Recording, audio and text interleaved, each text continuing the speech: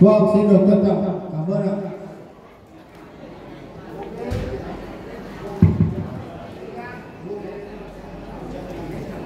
Để tiếp theo chương trình trọng hôm nay, ban tổ chức xin được trân trọng giới thiệu bà cô Thị Liên, giám đốc công ty Trường Giang lên chào hòa xin được trân trọng kính mời.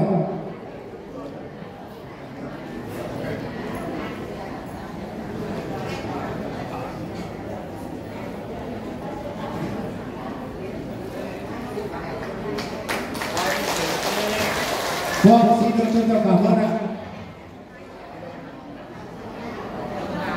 Để tiếp theo chương trình chào hòa hôm nay, ban tổ chức xin được trân trọng giới thiệu ông Ngô Văn Cường, đại diện cho khối doanh nhân lên chào hòa xin được trân trọng kính mời ông ạ.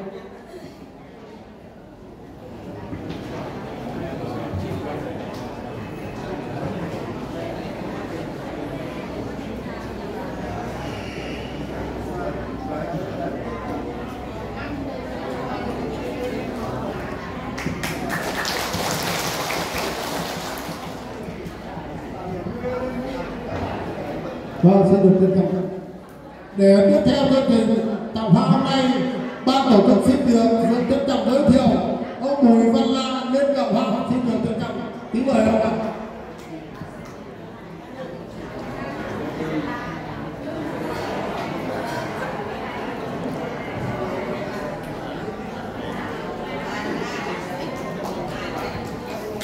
Vâng, xin được trân trọng cảm ơn ạ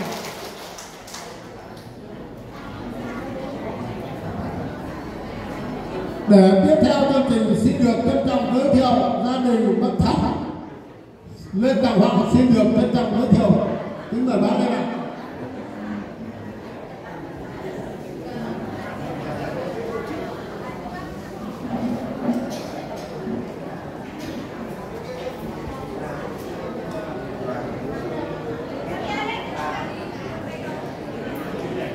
À, cắm lên một tí nữa là bà Thắng ơi mà bà cắm cái này nữa nào lên nhà hai bà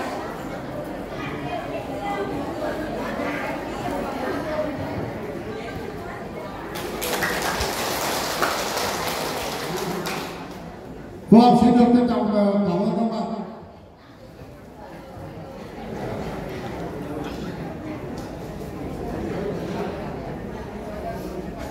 Thưa ba, tình cảm hòa hôm nay xin phép được ờ, dừng lại đến đây. À, và xin được trân trọng giới thiệu ông Nguyễn ờ, Văn Bảy là đại diện cho khối mặt trận 19 xóm lên tạo hòa xin được